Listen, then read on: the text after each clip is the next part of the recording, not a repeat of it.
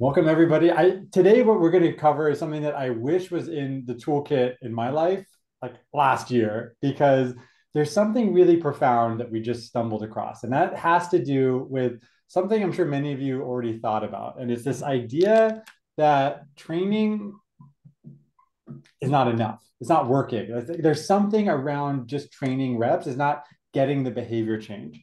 And what I thought was really interesting, Jerry Farr posted this triangle that I think is a an improvement on the Bloom's taxonomy about how we as adults learn, but also how we as leaders can encourage others to do. What most people check is the reaction. Uh, if I do a training, it's that survey afterwards. Like, how did you like the training? And if it's thumbs up, everybody's like, cool, I invested in something valuable. But that's not enough. The next level of it is how somebody actually took uh, something away from what you covered? Did they learn something new? And this is more than just like what we were taught in school, which is like answering a multiple choice question. Can you understand what an impact versus critical event question is? That's not really it. What we are in the business of, we as leaders, is how do they actually do behavior change?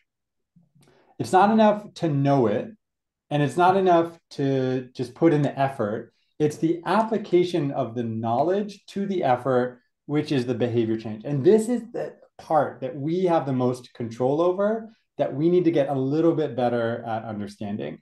Once we've nailed the behavior change, then it goes into results and then it goes into ROI at the top. Now, most people, because ROI is measured on revenue, bottom line, whatever, like it's too complex. So many things go into it that it's hard to say this training program or coaching program resulted in this style behavior change. I wanted to start with this visualization because this will help us navigate one of the big learnings that happened and uh, some of the results that I want to share you share with you today is we kind of already feel all of this. We know that just checking for reactions isn't enough. We also know that like the ideal like any investment like we want to see return on it. But if we can't attribute the work that we're doing with the results that we're getting, it doesn't quite work. But let's jump into some of the data. What I found was really interesting is I want to share with you like what is the experiment that we just ran and what are some of the key learnings that took away from it. I'll share with you some of the data, somewhat shocking uh, as we did an A-B test. And then what does this mean? And we'll go into the applications about how do we apply AI to help solve some of these really big picture stuff. Now, I realize I'm jumping straight into it. So let me set the stage. I'm going to be writing on here. I'm going to be sharing some stuff. You can, at the top right, zoom into me and like pin my screen. Or if you want to see everybody's reactions to it, uh, Roe is also going to be presenting today and he'll be helping manage the chat. And when either one of us is not speaking, the other one will be engaging. So pop your questions into chat or ideas on what else you're using in AI to make things work. I will keep this to be a very engaging session. I see a lot of familiar faces, so I'm sure you've been on one of ours in the past, but if not, enjoy the ride. Let's jump into Dan. Uh, funny, funny oh. note. There's a AI bot uh, just it's starting to engage in the chat by itself. So that's ah. that's the first I'm seeing. Yeah, I, I think it's a fantastic way. Yeah, that's a really good shout out. Like all of the there's so many tools coming out. Like we it's important to see like which ones work, which ones are we're still experimenting with. Um, but that's a good shout out. Okay, let's jump into some of the results. So basically what I'm showing you on the screen, there's two things. I, group A and group B. The top is asking around like, did they ask an impact question or did they do a critical event? Now, group A, as you can see, they started off 30% and they grew to 90%. And based on my opening today, I, I, imagine you have a hypothesis why. Versus group B, they're a little bit more senior. They were already applying this, uh, asking impact questions, but they got relatively very little improvement. Now, both of these groups had 20 to 25 reps and about five managers in. And we went through a process where we did a training as a deep dive on one particular topic. And we said, like, these are the skills that we want you to start applying. And then we had three weekly coaching sessions. We're terming that as a sprint. And based on what I'm seeing, like, sprints are a really powerful way to actually get behavior change. And some of those, like, takeaways that we heard from people afterwards is like by going deep and then reinforcing it week over week, it helped offset a lot of what people are feeling. Like the market is dramatic right now. We're all facing macroeconomic headwinds that are challenging. Things in the business are to solve for that often changing, which can add a lot of pressure on reps. Getting deals are harder, emails aren't working anymore, people's budgets are now being more complexly distributed. There's a lot of challenges going on. And how it played out between these two groups was really fascinating. What else we noticed is that the critical event questions, we know that those are somewhat harder for people to capture. And to be honest, we tried to make this relatively easy. The goal of this was to everybody be able to earn 100%. But one of the shocking things that came out of it is that training alone didn't do anything. We only started measuring after the first training session. And in that training, they were taught everything that they needed in order to be successful. But what we started to realize is that these results that we're seeing over here, these results happened because of coaching. Some of the best performing reps had the most engaging managers. And most managers that I work with love coaching as their job. Like that's the best part of their job. But most people can't find the time to do it. And spoiler alert, AI, I think, has the most power to help with frontline managers. AI is helpful. Uh, uh different LLMs are really helpful with um, developers and other things. I think the coaching aspect of AI is going to be incredible. And there's a couple like psychological reasons why. But let's talk about like this particular data point. Uh, I'll zoom in on this chart on the right, so it's a little bit easier to see. What we notice is that within group B, there was a dramatic shift. The managers that were most engaged in coaching, and this was measured by giving specific feedback from, on each call week over week, they saw significant improvement over the reps who were participating in all of the same things, given all the same tools, than reps who did not get coaching. And this, there's probably some confounding variables, like they feel invested in versus just the coaching alone. But this was a very interesting data point that helps justify a lot of the things that we're feeling. And I hope can help you as leaders start to realize the power of coaching and investing in coaching for your team. Now, investing doesn't mean hiring outside people, it does mean giving your coaches the tools to be able to coach. And as part of the priorities, knowing that this isn't just a nice to have, but if you're trying to get outsized results based on limited resources, it's a really powerful way to move forward.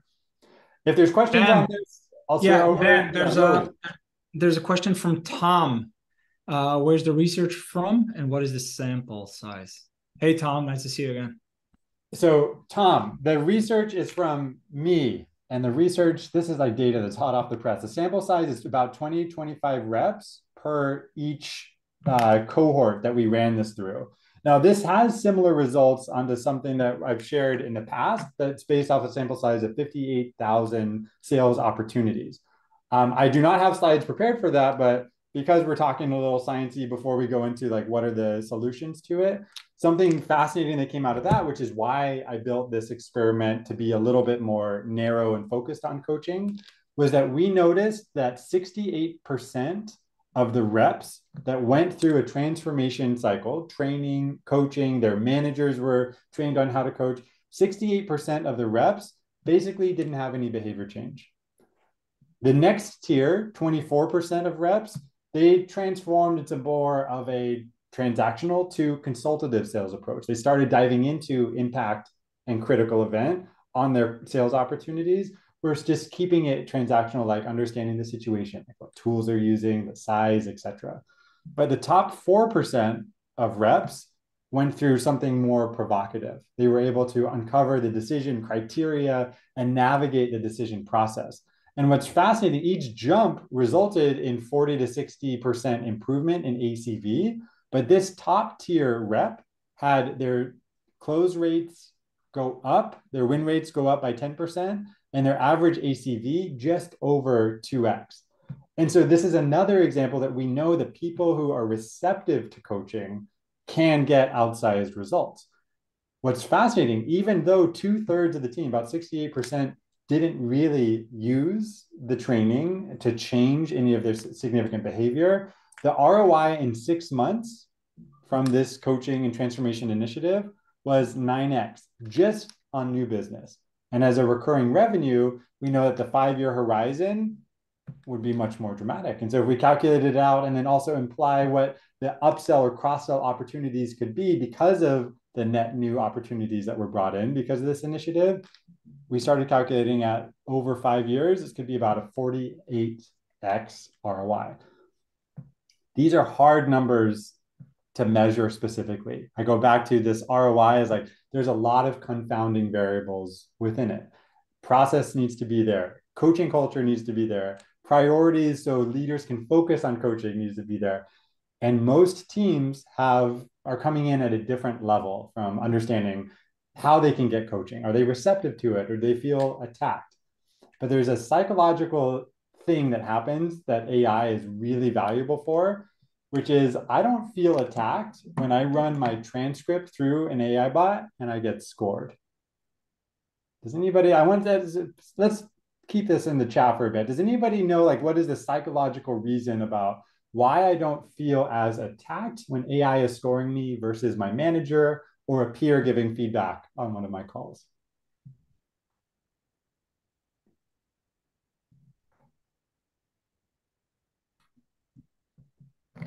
maybe people think it's more objective, it's more scientific, it's less personal, it's maybe more accurate. So then maybe people will get less angst if it's coming from AI versus versus me or you, Dan. That's right. It's it takes out it's it gives it that third party feel to it. It's like, well, this is what somebody else was thinking, and I don't have that direct relationship to them. And as many of you know, reps don't love doing role plays, but if we practice with a bot, it has a different feeling to it. I think we're just at the cusp of how exciting that is. Is we can get people to practice and get behavior change in different ways than we've been able to before by using AI in the right way. How I'm going to show you in a few minutes is AI can score calls it can say, here are the three things I recommend that you focus on. And now the manager can focus on what I am lovingly terming the OBT. I know we all need more acronyms in our life, but what is the one big thing to focus on? So AI can score it. It can now score across the team in seconds versus taking hours of a coach's time to review calls every week.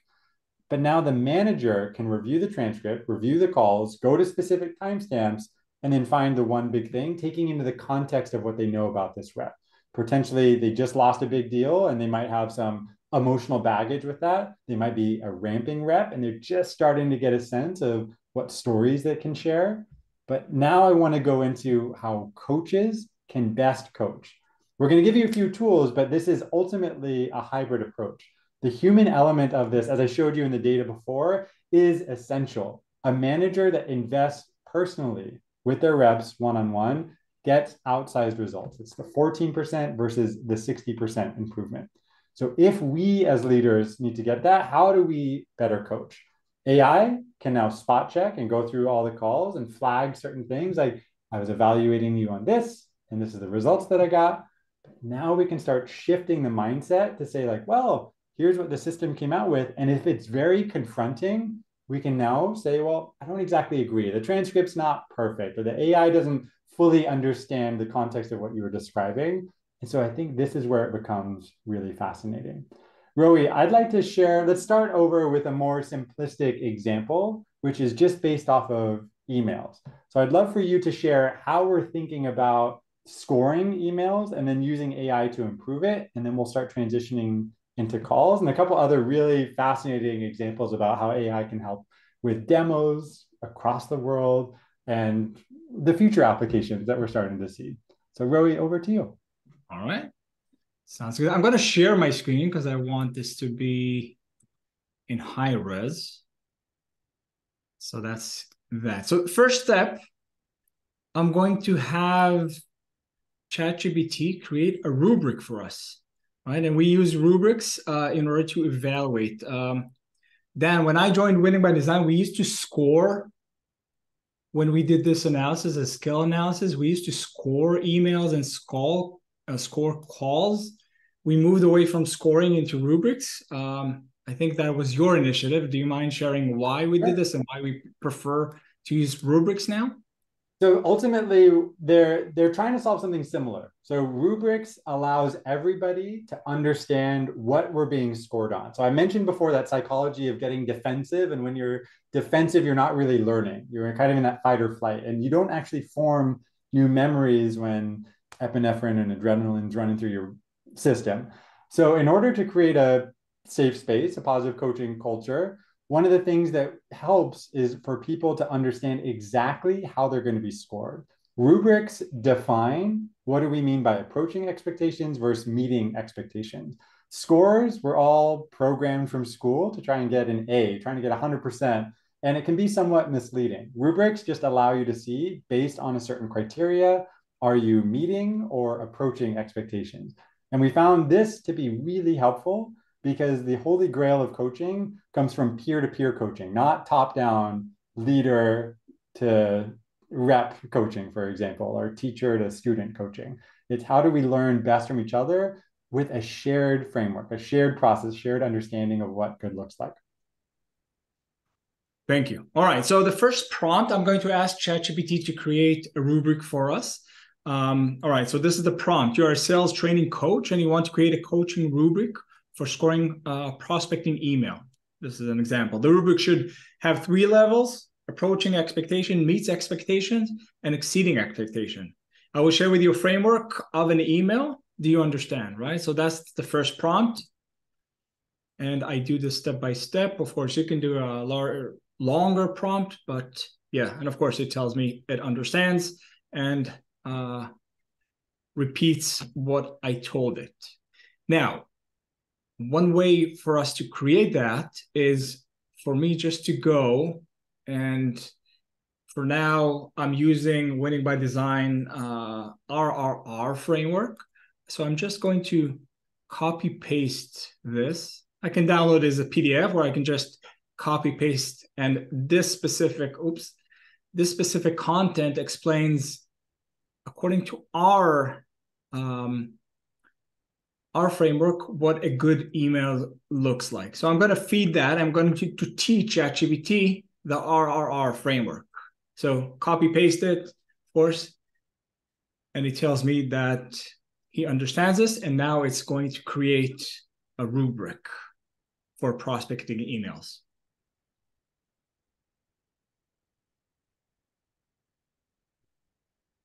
All right, and of course it gives me um, in a table, and it gives me, for example, one criteria is relevance, and what is uh, approaching expectation, limited or no research, generic opening lines, meeting expectation, adequate research, showing familiarity with the prospect and their industry, opening lines indicate some level of understanding or exceeding expectation, extensive research, uh, possibly citing past interaction or specific pain points. Opening lines immediately grab attention due to its uh, personalized and relevant nature.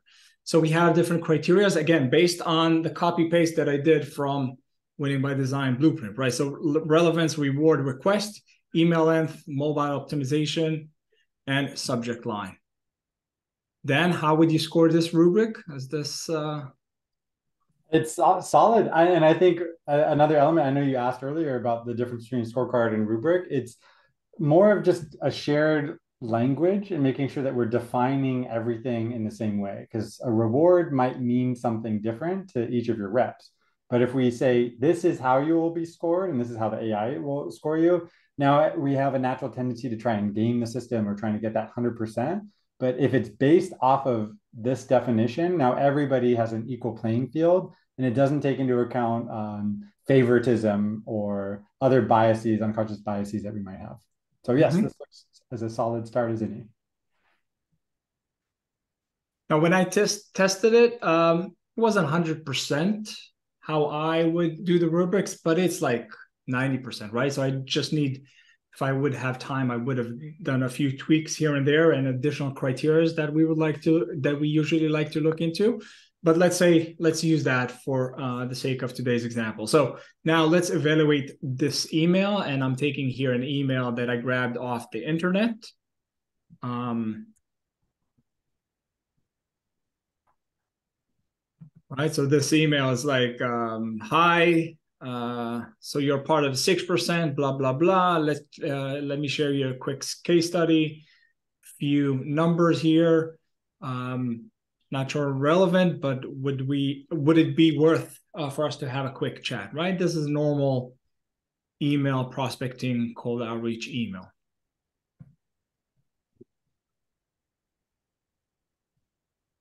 And one of the things that we allow this instead of us doing this manually, we can feed a lot of emails like that, right? And then based on the criteria that it generated uh, before, right? In terms of relevance, meet expectations, uh, reward, meet expectation, meet expectation, exceeding expectation, email length, etc. And then it gives me some pointers here, right? The email opened with a, a, stati- a stat statistic, possibly uh, trying to connect, etc. So gave me the rubrics, the assessment, and then the reasoning behind that. Now, the kicker here is that I can ask him to create, to improve that email, right? So now recreate this email to exceed expectation in all rubrics.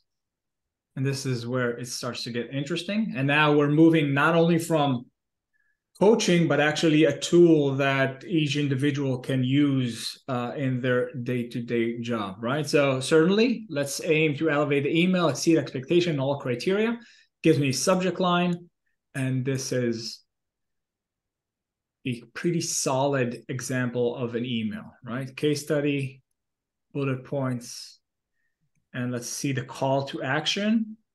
Um, would you be open to a 15 minute discussion this week to explore how these insights could be uh, applicable? Could be. Um, yeah, I think it's pretty solid. So that's how we build a rubric, test uh, an email and then have it corrected or improve the email that we generated. I love, I love you sharing this. I actually did this on somebody who spammed me, and I put their email through my rubric, and I asked, and I suggested back to them. I said, "Hey, reading this email, it came across that you didn't actually do any research on me.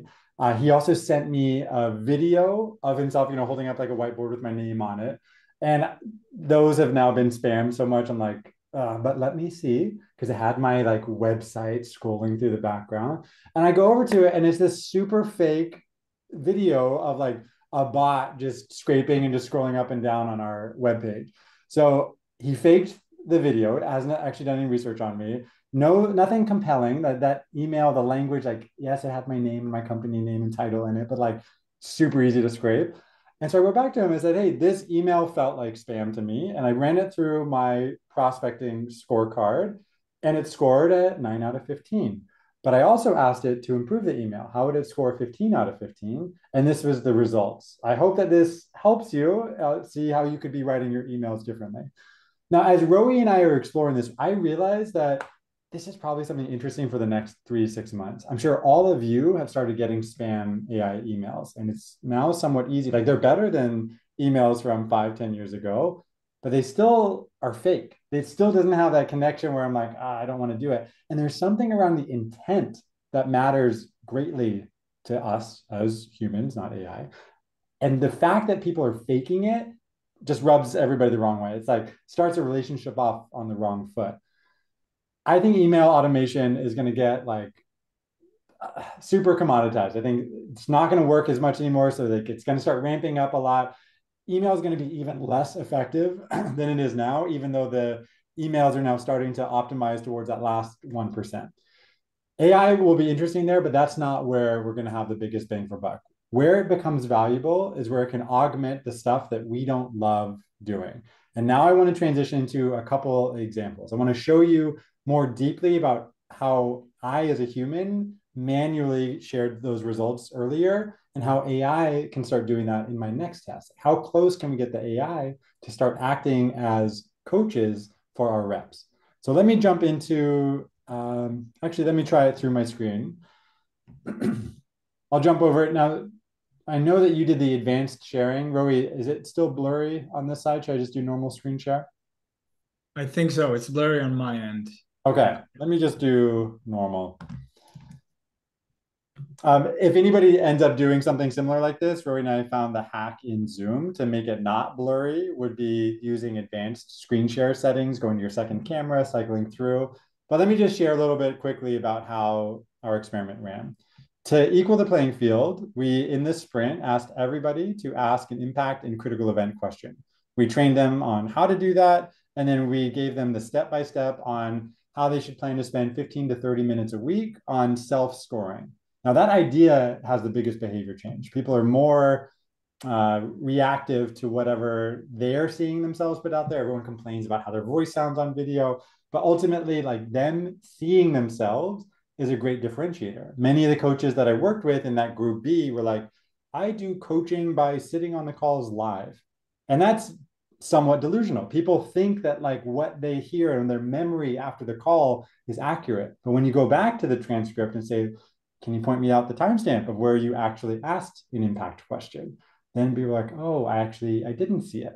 But seeing their peers do it and then like, oh, there's different ways of doing it. That's what really happens here. So what I'm sharing with you here is the three different approaches. Now, I might just make this two. I noticed that I tended to not ever give anybody exceeds, even though everybody wants to do it. But I define exceeds as like, it's so good, you'll train every future rep based off of this call example. Most people, like when they start off, they're like, oh, 80% of my stuff is exceeds. And we had one rep do that where he scored himself basically an 86%. And the coach and us as the certified coach here, we gave them about 47%. Like they were missing all of these key things and they didn't know how to self-diagnose. So now this rubric becomes a very valuable tool. And then how this comes out, I believe very strongly in visualizing the scorecard. So everybody can see exactly where they are. I sometimes call this the CrossFit effect. Everybody wants to look around and see like how they compare so we would have the rep's name here, the manager's name here, and then you would see how they self-score and then the key differences across. One rep would self-score very low and then they would actually earn very high.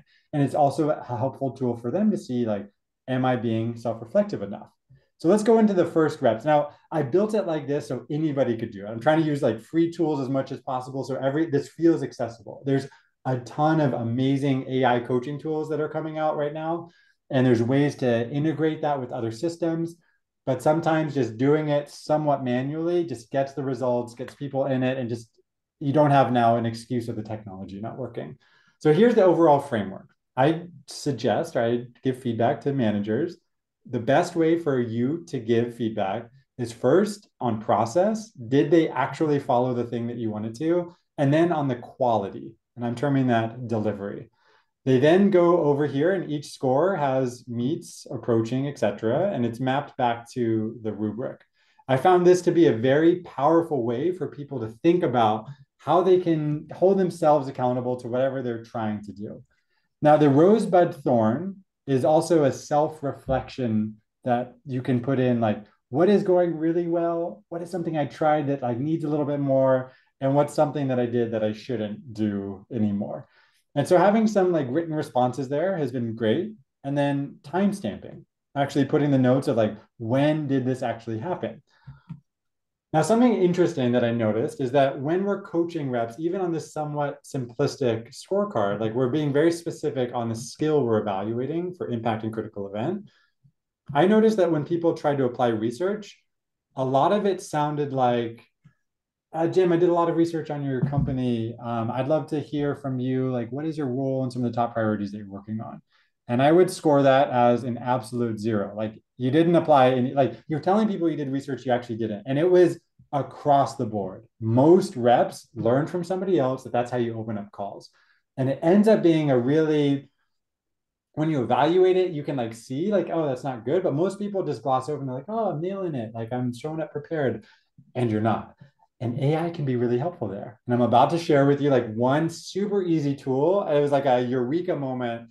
I got really giddy about it once I finally figured it out. But one easy way to do it is saying like, I know I'm about to get on a call with a project management solution like Asana or Monday, and I'm sure I have a customer story that might come up and be relevant. Now, what's interesting data, I'm gonna now self-justify because Tom was like, hey, where'd the numbers come from? Like to give proper scope, we did one call per week per rep. And so for group A, that was 58 calls. For group B, it was just under 70 calls. So almost 150 calls across the month that we did this program. And I, in my readout to them, I suggested the managers like, how many stories, how many customer stories do you think came up on across those 150 calls? Zero. None of the reps were telling customer stories. And this feels like such like a missing powerful thing, especially for new reps that are just trying to like understand how to communicate with people, but sharing stories can be so powerful. So I want to share with you um, a way that you can start doing that. I will pull up, me see if I did it. Okay. I'm going to share this link with everybody afterwards, but I built out a prompt just like Roe shared earlier. And one of the techniques that we found to be really valuable is you have to teach the system. Like right now, we're using ChatGPT, but it's the same for all LLMs. You have to teach the system, like, what is the context that you're asking for? So we say you're an enablement expert and you're teaching sales professionals how to tell a story. The goal is that they will tell the story in less than 300 words and it comes across three parts. The rest of this prompt, I'm teaching them about the three parts. So I'm going to scroll through so you can see like this is how you tell a good story. Here are the things to avoid. And then here's the structure. End with a question like these are the examples. And when done correctly, the answer to those questions will be like, yes, how does this company solve that? now, another thing that we found really valuable is just testing it out. And so this is what I wanted to do. I said, go through this. Here's the prompt. Here's what I want you to do. Once you've understood how I've trained you above, ask me this question. And so it says, understood. Please put in the case study. And so this is what I did. I went to Asana, I pulled up one of their case studies, Zoom. I tried to use the link, and that's like hit and miss. Sometimes you can just copy paste the URL. But ultimately, all I did was I just like copied it. I just went all the way down, copied this public facing case study. So that means any of their reps can do this, or any of your reps can use the same prompt and use the same thing with any of your published case study and I was giddy with the response, right? I put in this like somewhat unstructured blah, blah, blah, case study, copy, paste, and then check out what it does. It starts off with the words that I want. And so now all they need to do in basically two minutes of work, prep before a meeting, they can say, hey, I'm about to jump on the call, and here's how I tell a compelling customer story. Now, our framework uses the simplified hero's journey. So it makes it personal at the start. And there's some psychology around why. Then it goes into the pain and tries to go deep into the negative impact of it not being solved. And then what happened? Now, this isn't a perfect story. There's things that, like, as a human, I would augment and say, oh, there's ways to improve it. For example, make it less about Asana being a hero and more about Gregory. Like, what did he do to do that? Now, those are tweaks that a human coach can do. And I'm sure with right prompt engineering, we could get better at that on here. But just on its own, showing up prepared for a call with a similar customer and being able to read off of it like this, this is what product marketing and product enablement is trying to figure out for decades. And it's now free. It's easy for anybody to use from any published case study. So I'm really excited to share that with you. That's something that I I would love in, in a future experiment to run like what is the win rate on deals where reps actually tell stories but now we have some some sort of quality control where it can be a good story. A lot of stories that salespeople tell is like, oh, you know, I was just working with a customer just like you, and they were also complaining about the lack of collaboration. It was really painful. But after using Monday.com, they were able to blank. And most people tell stories like that, but it's very sales centric. It's very marketing centric. It doesn't have that human element that makes a story so great. And now we have the tools to do it. So, yeah, there's a question from Renee. Good. Renee, what's up? Uh, I'll read it out. So um, basically, what she's saying uh, was something that we, you and I, played around with.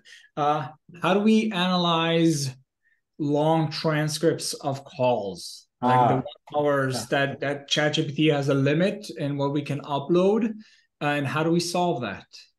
Okay, well, my favorite. Or just to elaborate, we have also tried with Claude, which has 100k, and then it was a mixed bag of result of results. So that's another challenge because it starts mixing, uh, losing details the longer the transcripts are, right? So oh, that's that's the challenge. So oh, I know it's and it's so painful because like the hallucinations sound real. Like if you don't catch it, then it sounds like it's making it up. So um, actually, I noticed in one of your examples, you're using what Derek shared with us about like a custom intro. Will you get that ready? I'll come to you in a second because I think that will help what Renee is describing. Um, Renee, you were bringing up a specific limitation to ChatGPT, and LLMs are continuing to grow and evolve. But one of my favorite uh, workarounds for this is a company called Assembly AI has an LLM called Lemur, and it's based off of an audio style input versus ChatGPT is a text style input.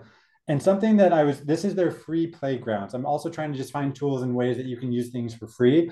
So Lemur is a fantastic example. And, and what I'm showing here is uh, now my next example is if I'm going into a public company, let's say I'm trying to prospect into Square, I just Googled like, what is the 10Q for Square?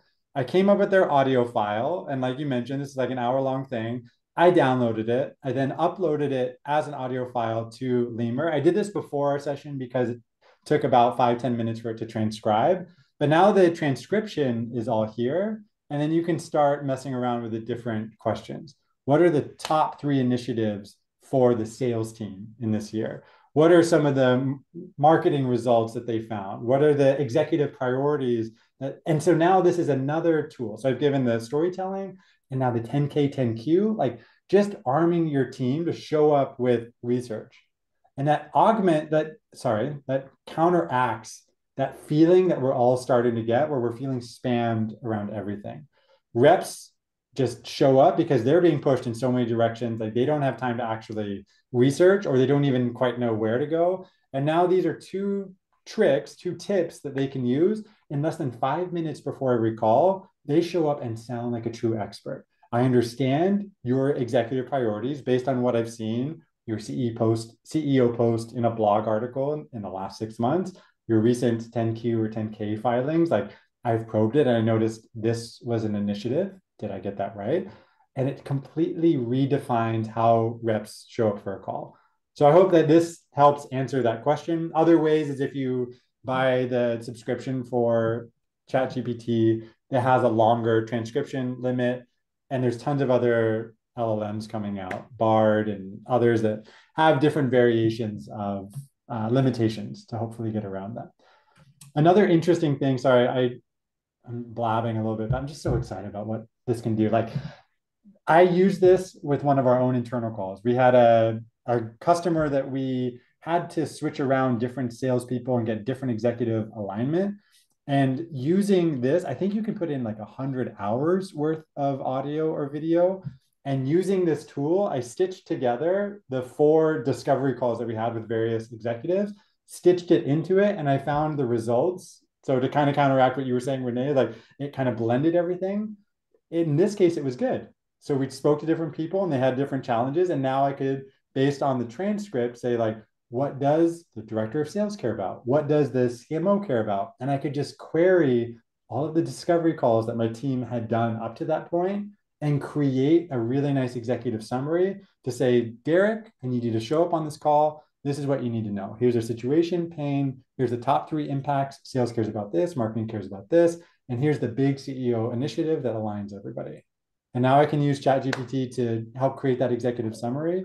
Sorry, I'm saying ChatGPT is like but in this case, it was the Lemur helped create that summary. And now he shows up looking like an expert with only five minutes of prep before. Does that help answer the question? I saw that your text had a, a bunch of different sub questions in there, but does that resonate? Yes, it does. It's very interesting. I'll try it out. I was just thinking if you if you do these executive summaries, you can also use this for consulting work. Yes. yes. Um, we actually we saw something alarming happened. I think that playbooks are starting to become very easily done on AI. So this type of thing, and we've noticed that a big part of our business that was focused on building customized playbook now can be augmented so easily with AI that it's just it's this feeling that I'm sure a lot of us are getting. There's a quote, I'm going to completely butcher it, but it's not that AI will replace all of our jobs. It's just going to replace the jobs of people not using AI in their job. So it's an awkwardly paraphrased quote to it. But to your point, it's like if like this is now like this is available. This is the new world. And I know we're joking a little bit about it, but there is something that one of my colleagues shared with me, and I'm still wrapping my head around like the implications of it. But I want to show you like how AI can now be helpful in demos. So not only did I learn how to write backwards and talk at the same time on my fancy Lightboard, but in my spare time I learned German. Willkommen zur Online-Lernreise. Du erlebst eine Überraschung, um die Vergessenskurve zu bekämpfen. Normalerweise vergisst man Gelerntes schnell, etwa 40 Prozent nach einem Tag, 90 Prozent nach 30 Tagen. Was wir tun ist, dass du dich darauf konzentrierst. It matched my voice. It matched my pacing. It changed how my lips move, so it looks like I'm actually speaking German. I this is so wild and obviously there's a lot of like my brain goes to like the negative like implications like now anything that i can say like anything can be and that's fine but now let's talk about the positive element of it we all know that one of the most valuable ways of selling inside a complex organization is internal selling and if we're going cross functional across the entire world and we believe in this behavior change based off of a consistent uh-huh. process across the entire GTM, this is the future. I can now share insights or learnings or trainings or coaching across any language that my team is working on. Now, the Japanese team can learn from the Dutch team and they can figure out very interesting ways that they can navigate who should be saying what to when. And we can now have thoughtful conversations. It's like Brazilians, they need to, I I don't mean to sound this negatively, but I've noticed in Brazil, like if you get into business right away, you sound a little bit curt. Like it's better to start off and ask about the family or how things have been or what's going on and just like warming up the conversation. But if I speak to Germans and I asked them about how their two year old's birthday party went this weekend, it's a little invasive. Like, don't start off with those kind of and so now there's cultural dynamics, but we need to have a consistent process on how we're doing things so that we can learn across the globe. But as far as demos go, now what we can have is say, hey, we have somebody that like the New York team believes in this, the London team believes in this, but the German team doesn't quite know how this would work. And now I can send over a demo that I created and it's completely converted. It sounds like me, it looks like me, and it gives a consistent feel. So now language is no longer the blocker. So I thought that that was a really fascinating new case study. We're just on the edge of trying to figure out how to do that. I want to pause there since I got really excited about it because here's like actually I want to do the the funny like downside of it. Even though this is super cool, I have other like coaching videos where I speak with my colleague. Das andere Element and just like Renee and I were joking around hallucinations being annoying, um, I want to show you how that can look like when AI hallucinates a little bit. Kraftvolle Art, die Kombination zu starten. Aber was sollten Sie nicht tun? Mir bei dieser Stakeholder-Forschung nicht auf der ersten Seite nach wichtigen Informationen schauen. Ähm, aber wir müssen tiefer gehen. Was hat TJ in den Kommentaren gesagt und wie hat... I shared this with Mia and we had a good contagious laughter situation for a few minutes there. It's it's just so funny like how close it can get and then in like slightly wrong context it can mix things up. So with that said, I wanted to share a few of the things that we're working on. Some of them like what we know will work based around coaching and tracking behavior change and seeing improvement over time. Some of the systems that you can put in place when you've identified where your team needs the most help around deal coaching. For example, showing up prepared, using stories, digesting complex information like 10Ks or 10Qs. So you show up like an expert, and then being more nuanced with how you're giving feedback. So you can train ChatGPT to highlight what are three coaching questions that you can ask. And just before we started recording, Tom mentioned like this is also a helpful tool he's been using in interviews, helping come up with what are the exercises that you can prompt new employees to run through. As you're onboarding reps, what are the milestones that you're looking for them to accomplish on live calls with customers so that you can make sure that they're trending in the right direction and you also have examples of what good looks like. So we hope to continue this type of conversation and start exploring all the exciting things that are happening around with AI. But we found what we thought about for today is that using AI for coaching feels like the low hanging fruit because we don't have time to do it, but we get outsized results when we do it. Does anybody have any questions or any things that you've been experimenting around using AI for coaching? Yeah, then there are two questions. Uh, Eric, do you want to come off mute or should I? Sure. Um, without a hint of trying to scare anyone, this happened to me. So I'm a consultant and I rely heavily on the AI transcript to give myself my own action items. And I came across a four paragraph long, violent, racist rant from one of my business partners in the transcript that just didn't happen. So like out of thin air, it generated crazy is not a strong enough word for what was there. And why I say that is the thought I first had was how can I ever tell clients to rely on this? And what could I tell them to avoid that outcome? I'm certainly not going to lead with that story, but in this room, I feel comfortable asking about it. Is there any kind of like a sane failsafe that won't pull us all into paranoia where we can double check this stuff as we're scaling it because um I can't even explain how bad it would have been if I had just sort of shipped from that transcript. Um, and it really opened my eyes.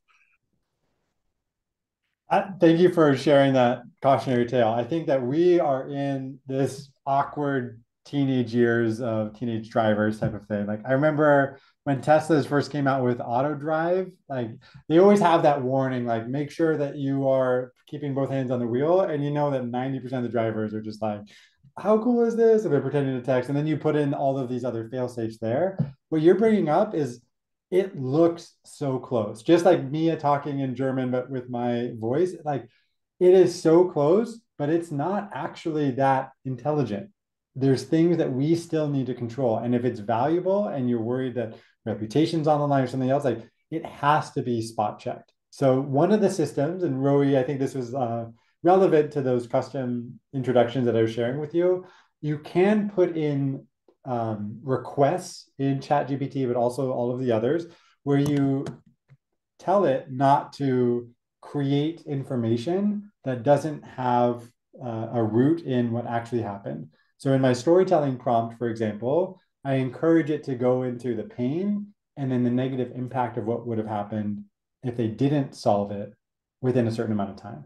Most stories don't have that written out. Most people don't write out like would have lost my job, would have to go through a round of layoffs, like product would have been delayed and one of our key customers would have left. Like they don't write that out in the story. And so without putting in a fail safe, like don't make up information if it's not there, just highlight after that you need more information to be more complete if you don't do that, then it will create things like that. I luckily have not experienced what you just shared, but it's out there. And I've heard other stories like that as well. And I don't think there's a non human, 100% safe way of checking for that beyond just making sure that everything that you ship out to clients, including emails or summaries that are AI generated, they need to be proofread because the risk of getting it wrong far outweighs the benefit of the time savings of doing it right. So it's not a ship it and forget it. It's still in a, you need to be able to control the output. Uh, Rowie, did you have a another way to augment that answer for what Eric was describing? No, continue to be scared. That that like, for example, we we don't upload any customer proprietary information right now, right? Until we understand what is really going on there, right? So that's why we're kind of limited in what everything is is under the R and D uh, uh, sphere at Winning by Design, right? No customer information. Yeah, we are also very cautious. Dan, can you can you guys hear me? Yes. Yeah. Welcome. Oh. Yeah. So about about this question, I use a lot the custom instructions inside GPT, Chat GPT. I just I just added there, uh, screenshot. And for me, I I spend a lot of time uh, limiting the way and and what I want ChatGPT to consider in my in my every prompt that I input. So I think this is the best way. Uh, uh, a good example is that we are working with uh, uh, General Motors here in Brazil, and they have this Onix car, which is also a name of a of a stone, right? So people were talking to to our chat that there was a play there, and they were actually ChatGPT was actually uh, answering about the stone, so it was completely nonsense. So we said, no, no, no, you have to consider this and this and this and this. So once you you have your custom instructions aligned, all these limitation, all, all these delusions uh, tend to go away. I think just, I mean, work a lot on your custom instructions because you can say who you are, what you want, what is the tone, and then you have, and you have all, all of this uh, configured. Yeah. It reminds me when I used to work for a company we did uh, business intelligent uh, SaaS, right? and we did a project or, or we we delivered a, a product for a health and beauty company. And apparently mascara the product is mask in in portuguese right pedro? Yeah you're right. We did the entire analysis based on we thought we are going to get mascara results like the the the mascara that you put on your face then we got a lot of masks uh, so oh, we yeah, got tired. Yeah, that was uh, our own dumb AI scraping tool that we had. So it reminds me of that. We have another question, Dan, uh, from Spencer. Spencer. Yeah, thank you so much for this. Super interesting. Um, I've used in the past, you know, before ChatGPT, like Gong and things like of that. Are there other platforms that you've used that you think require maybe a little less customization um, that are get out of the box? What are you trying to get out of the box? Well, you know, like feedback, like you said, if you're trying to, to do coaching analysis, um, I find it to be a little generic. That was kind of the problem on a lot of it, right? Is there like a good hybrid between um, having what you were able to to deliver, but required, you know, some prompts in, in there with some out, more out of the box platforms that you've come across? I think we're on the cusp of so many awesome tools. I did a demo of replays and I it was really fascinating. So if you are looking for more out of the box, like what they have done that's really powerful is they spend a long time with the prompt engineering. And so it's all things that technically you could do on your own, but there's been a lot of smart people working on this to customize it, making it out of the box and easier for you. So I think that tools like this would be a fantastic place to start. Um, most people who are in budget crisis right now, like are not investing in other tools. And so now if you do have Chorus or you do have Gong, how do you maximize those tools? Now Chorus, I, I it's not a proper, I think it's called keyword tracking, but Gong has keyword tracking and smart tracking. I made a stupid joke, or I was going to call it smart tracking versus dumb trackers, but like that's not actually what it's called. So keyword tracker is more like looking for the keywords within a transcript. Like, did they say does that resonate or did they say impact when they were asking a question versus smart trackers are more like what chat gpt is is they're able to infer the intent behind things but it requires a lot of training but all of these tools that have been out before ai hit the boom like outreach and gong like they're all now starting to adapt like i just saw in gong yesterday a new like call summary feature and last year, Sybill came out with a fantastic feature. I think like ChatGPT launched in November and Sybill came out in December. Like they were on it and it was awesome and continues to be awesome.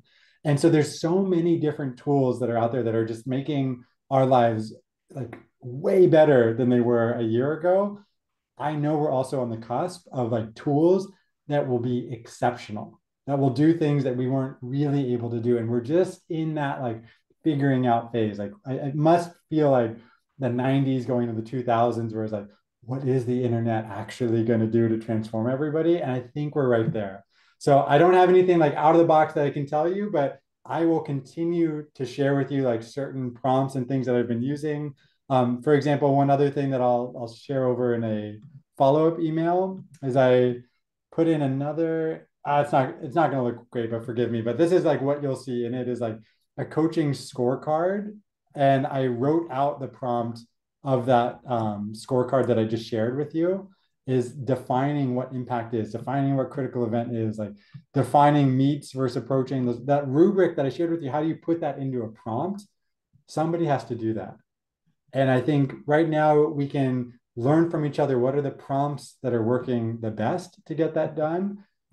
But we're still at the cutting edge. We're still figuring out what works and how do you avoid delusions or hallucinations and racist rants within the answers that they give you. And it's getting better, but it's still not there yet. And I feel like that's a very exciting spot to be on. It can be frustrating because you might think you're doing everything right and you still get an uh, outsized effort or a, a inappropriate answer, but we're close and it's really powerful. And once you put in that work, like a little investment now can hopefully save hours for you and your team later. I, that's what we'll continue to push forward together. And I just ask if you learned something today and you try it on your own, please feedback any learnings that you have to us so we can continue to learn with you and continue to put out um, helpful content to navigate this new world all together. Thank you all for joining. We'll send over the recording and some of these prompts afterwards. If there's other questions, we're going to hang out for a few minutes, so you're welcome to stay on. I'm just going to cut off the recording for now. Have a great rest of your day. I'll talk soon. Thank you. Thank you.